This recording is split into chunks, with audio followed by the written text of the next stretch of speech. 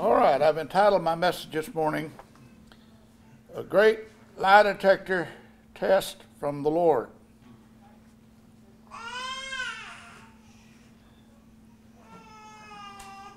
We're going to be reading from Numbers chapter 5 in a moment.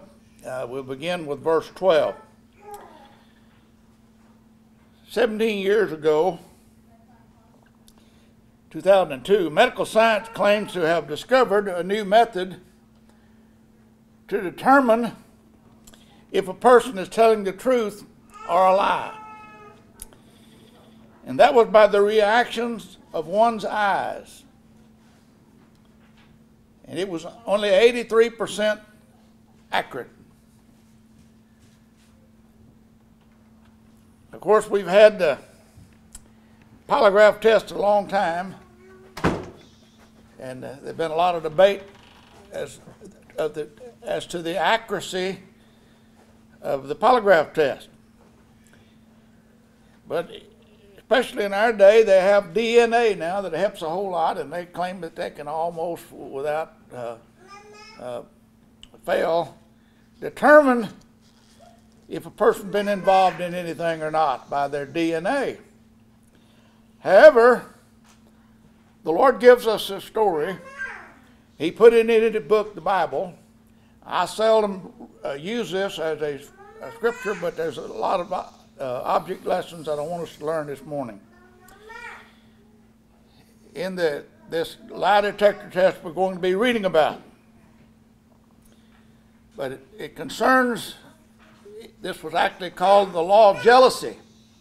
The law of jealousy. If a man begins to suspect that his wife was being unfaithful to him, then this was a means that they took to determine if she indeed was unfaithful or had been unfaithful to him or not. And the Lord gave us this, so we're going to use it. This is from uh, His Word, not mine. But in Numbers chapter 5, we begin reading with verse 12. Speak unto the children of Israel, and say unto them, If a man's wife go aside and commit a trespass against him, and a man lie with her carnally, and if it be hid from the eyes of her husband, and be kept close, and shall be she to be defiled, or be guilty, and there be no witness against her, neither she be taken with the manner. Uh, and the spirit of jealousy come upon him, and he be jealous of his wife, and she be defiled. Or if the spirit of jealousy come upon him, and he be jealous of his wife, and she shall not, if she's not, if she's innocent, she hasn't done anything then we can determine that. Then shall the man bring his wife, and this was the instructions. Y'all listen closely. He'll bring his wife into the under the priest, and shall bring her offering for her, the tenth part of an ephah of barley meal. He shall pour no oil upon it, nor put frankincense thereon, for it is an offering of jealousy, an offering of memorial, bring iniquity to remembrance. And the priest shall bring her near and set her before the Lord.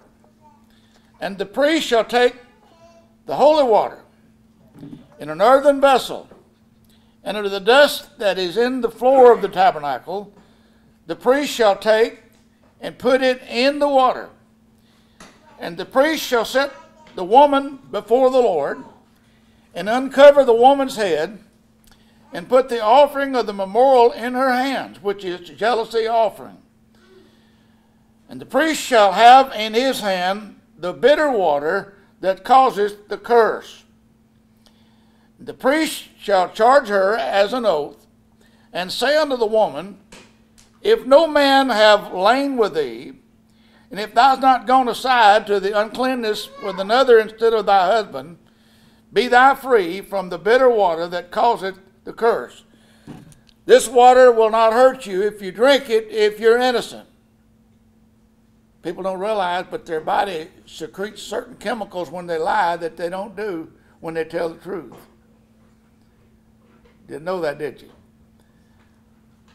Dr. M.R. DeHaan, who was a medical doctor turned preacher, said that it created something like peritonitis, caused a woman's stomach to swell, and she died. All right, let's continue reading. Let's read uh, verse 19.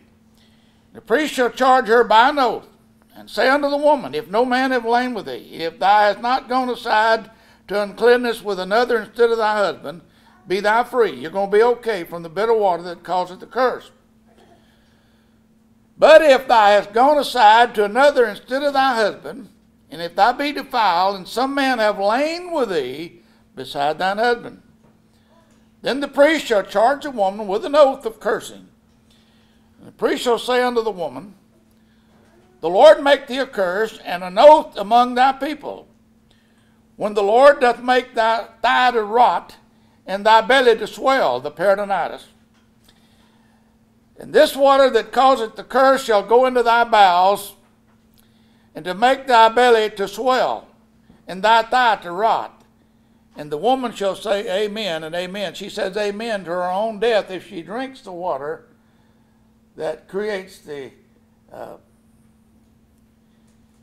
the poison by being mixed with the uh, chemical that the body secretes by lying.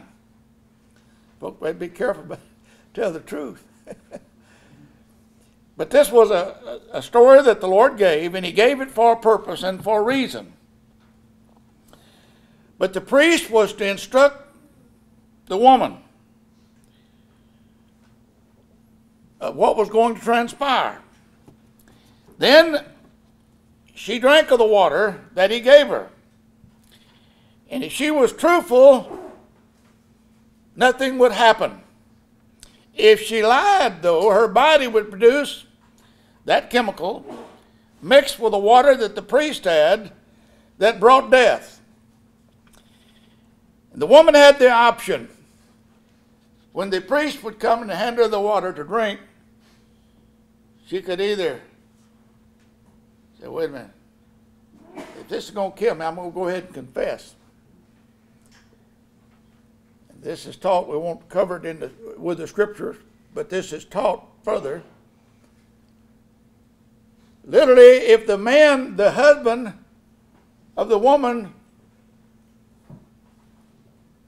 said, I'll forgive you, and we won't stone you to death this time.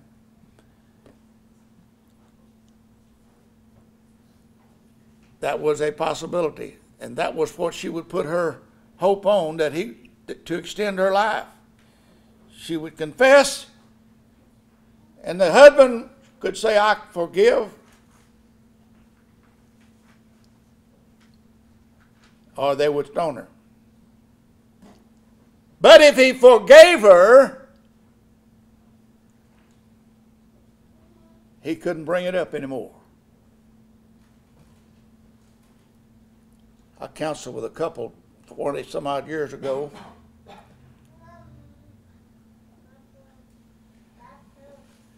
They had a whole carload of kids in my yard one time when he was, he got on top of her and he was whooping her in the face. I said, What's going on?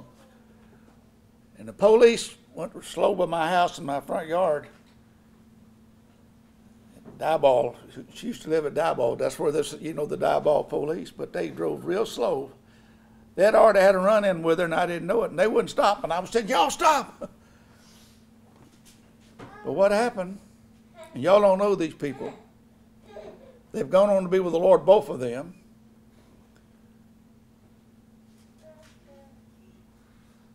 But she, I went to their house.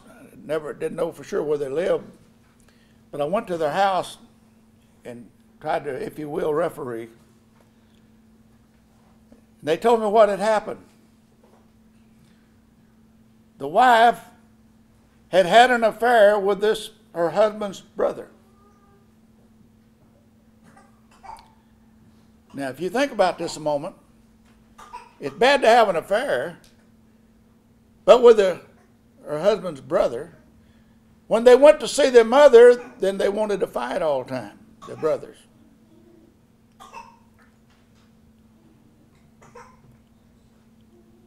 But she said, she told me, she said, I did wrong. And I ask Him to forgive me.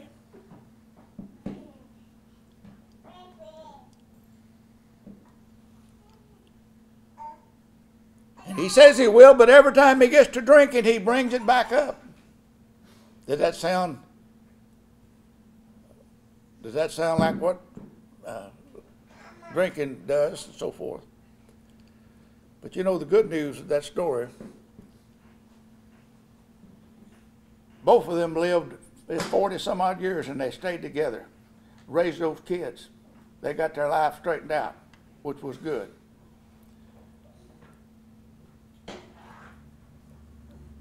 I read the, the obituary of the man some three years ago and his wife last year. But they stayed together all, all those years. But if the man said, I'd forgive her, and then no, he would bring it back up. And, folks, that's not, if you're going to forgive somebody, flush it, forget it. That right? If you're going to forgive. Thank the Lord, He forgives us, doesn't He? But this was a case of the woman, but if she said, hey, I haven't done anything, she could drink freely of the water, it didn't hurt her because she told the truth. And, folks, this wasn't a 83%, as I mentioned about the uh, the, the weight with the eyes effective. This was 100% effective. It wouldn't hurt her if she hadn't done anything.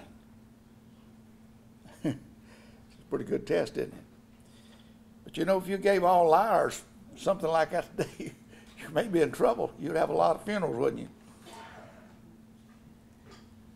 All right. Truth or a lie? That's what we're talking about truth or a lie. And that was a way to determine, at least on that particular subject, whether a person was honest or not. Jesus said, I'm the way, the truth, and the life. Jesus is truth.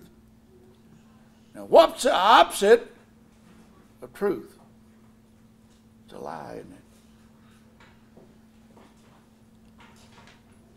You cannot add anything to the truth, can you? If you add anything to it, you're going to make it a lie. The truth stands on its own, does it not? But the Bible says about Satan that he's a liar in John chapter 8 and the father of liars. He abode not in the truth. I ask a question Is it ever appropriate to lie? I'm going to give you an illustration. We had a wonderful Sunday school teacher here for years, Brother Sparkman. And he'd always describe people and he'd laugh about it. Y'all have to know him to appreciate him. Uh, he wasn't really an outsp- outspoken person. But he said there was three ages of people. That was a youth and the middle age, and you're looking good.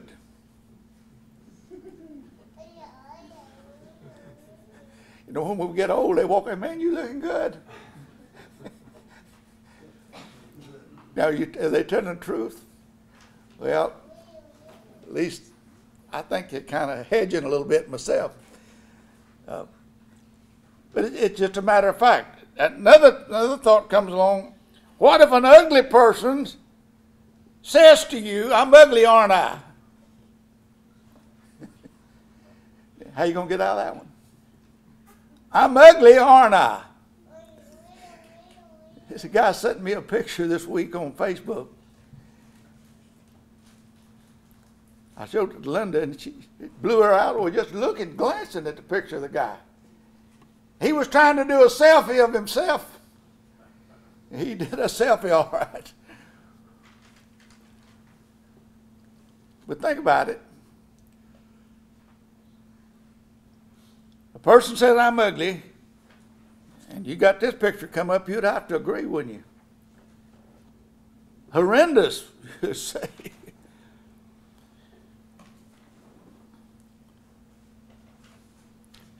Talking about a lie.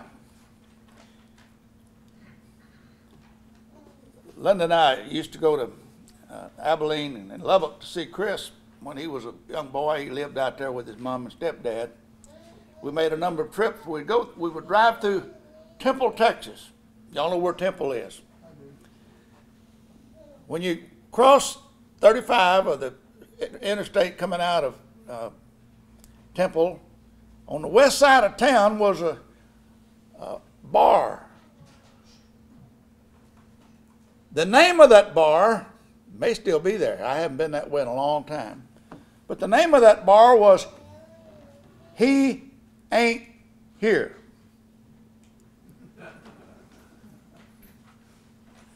Now, some of the phone rings. He ain't here. That the dude is sitting right out there. But wait a minute, you said the name of the joint, didn't you? He ain't here. That's the name of the place. But the one I liked, when Linda and I came here 44 years ago, down here on uh, 34th Street was a bar, and they had it named right. Liar's Den was the name of the place. Y'all remember that place down on 34th? Liar's Den. But, folks, I want to remind you that the opposite of truth is a lie. And Satan's the father of liars. We just quoted that a moment ago, John 8 44.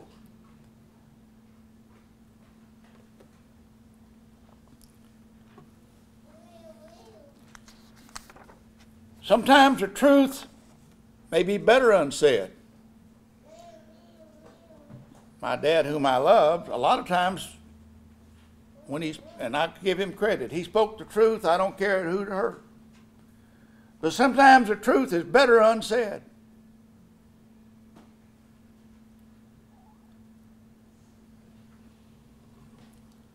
Sometimes people want hear, don't want to hear all the details. We call it TMI, too much information. We didn't want to hear all that, did we? By the way, the Bible says when you confess your sins, confess them to who? To God that can forgive them. It says confess your faults one to another, but confess your sins to God. But back to truth. What about God's plan of salvation? Satan has a plan or many plans, doesn't he?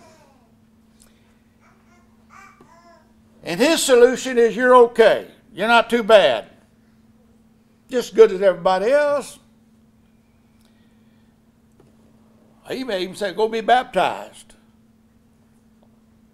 Because baptism doesn't save you, does it?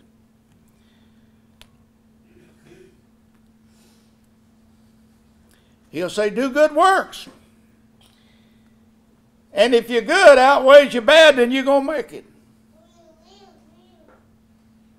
That's what Satan says. And God has but one way. And I'm happy to tell you it's not through Muhammad, it's not through Buddha,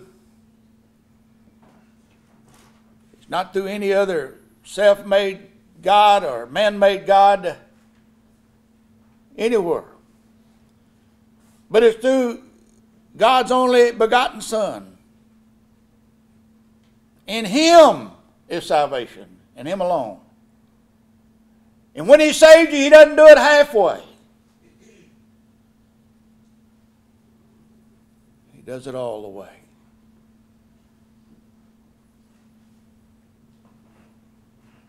He said, Believe on the Lord Jesus Christ, and thou shalt be saved. not maybe. And, folk, that is the truth.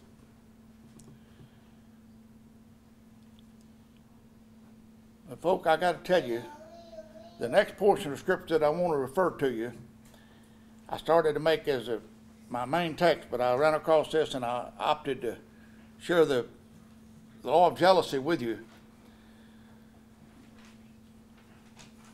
Brother Enrique mentioned in Sunday school this morning about how that things have uh, come pass in our day.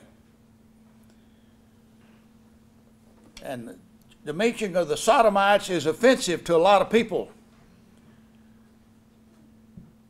especially offensive to them. Matter of fact, the news reported a few days ago that in California, they're wanting to do away with the Bible, especially the King James Version that condemns sodomy.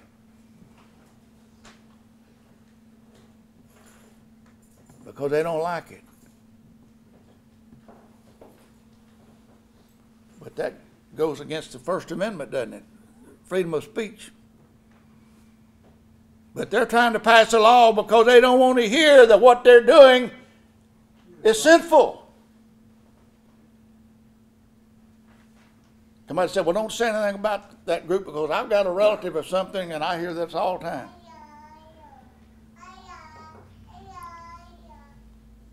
But let's read. This is about sodomites, the, the bottom part, the sodomites. Homosexuals. Romans 1, verse 22. Professing themselves to be wise, they became fools and changed the glory of the incorruptible God into an image made like to corruptible man, and to birds, and four footed beasts, and creeping things. Wherefore, God also gave them up. Oh, when God gives up on you, you're in trouble. But He gave them up to uncleanness through the lust of their own hearts, to dishonor their own bodies between themselves. Then I took the liberty of underlining this next scripture. Who changed the truth of God into a lie. We're talking about truth and lies, right? They change the truth into a lie and worship and serve the human body, the creature, more than the Creator, who is blessed forever. Amen. And then once again, look at verse 26. For this cause God gave them up unto vile affections. For even their women did change the natural use into that which is against nature. And likewise the men leaving the natural use of the woman.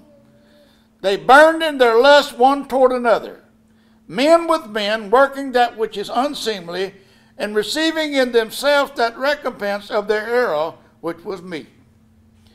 And even as they did not like to retain God in their knowledge, God gave them over to a reprobate mind to do those things which are not convenient. Oh, God gave up on them. This morning paper and also yesterday a large article up here at Ohio State University a medical doctor there, one that treated the students and the, the uh, sports people of Ohio State University. Name was Richard Strauss. Was charged with molesting 177 students of Ohio State University. That's how many charges they've got already. Dr. Strauss committed suicide in 05 because it was brought to his attention. But it, nevertheless, the news is in today's paper and also yesterday's Houston Chronicle.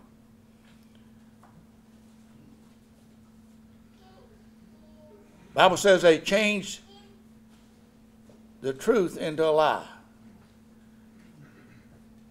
At least they tried to do it, didn't they? Because you don't change truth. Truth will remain true forever. Isn't that wonderful? That our Lord is the same yesterday, today, and forever. Amen.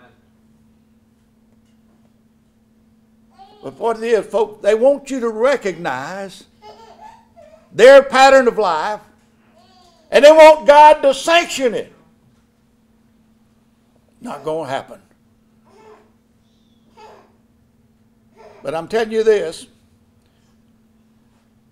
Brother Enrique keeps up with a uh, brother Ander, Steven Anderson, who takes who's taken a stand against homosexuality, and because of it, 32 countries have already banned him and said, "Don't come here." He was wanting to go soul winning. But because of his stand against homosexuality, and folks, that's what it's about. And we're living in that day.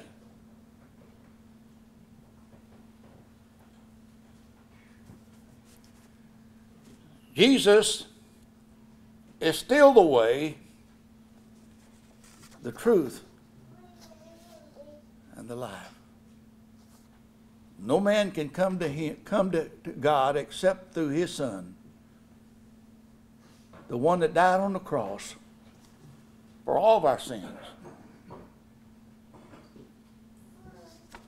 But folks, the Bible says, speaking of the last day,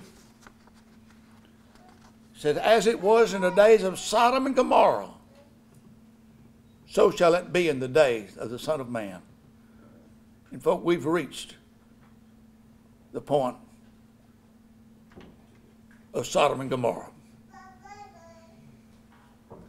No one dares speak about it, especially politics. You talk about a fellow if he's wanting to get elected to office. If- you take a stand against that pattern of life, you'll get defeated as far as getting elected to office. But folks, you've got to take a stand. Now, all sin is sin. The question I want to cover lastly, we were talking about truth and a lie.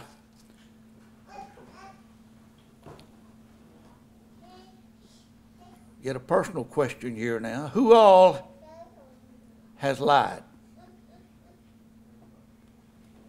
We all got to admit to that one, haven't we?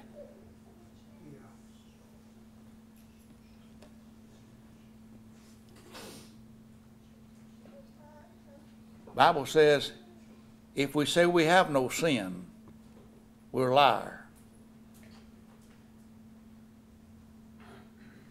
And the truth is not in us. We've all sinned and fell short of the glory of God, haven't we? And the beautiful part, He loved us enough that He died in our place anyway, even though we were liars. By the way, the Lord said, Let all men be liars, but let God be true. And how right He was.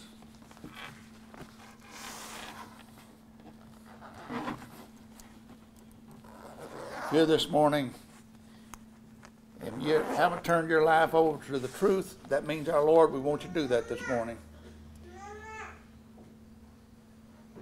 As we stand together, and uh, Brother Enrique's going to come and lead us in a song.